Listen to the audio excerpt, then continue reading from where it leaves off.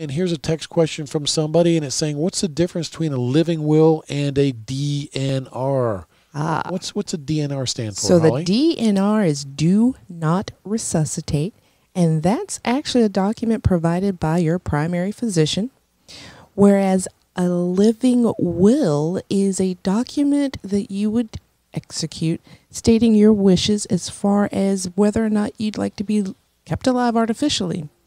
Um, we kind of refer to it as the pull the plug document. All right. So yeah, uh, so the living will is something that you, the client, can sign. You want a DNR? It's coming from, your doctor. From your doctor. and with the living will, really, the, it's covering three things. that, You know, traditionally keep me off machines, but you can ask for some other things as well you in your can, living will. You can you can. You can have uh, either food or water administered or withdrawn. And you can also ask for pain medication to keep you pain free. Now, a lot of times people say, Tom, if I'm thirsty, I want to have a drink. Well, guess what? If you're competent and you're speaking and you, you want water, your living will says no water, you want water, you can get water. You can get water. Okay. Yes, Just yes, be yes. clear about that.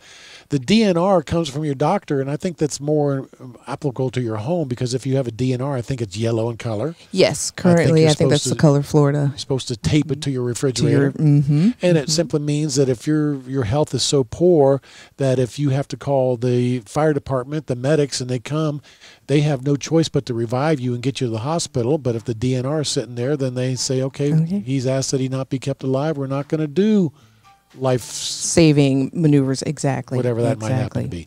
Everybody, thanks so much for all your great calls and questions. We do so much appreciate it. My name is Tom Olsen. The name of the show is Olsen on Law.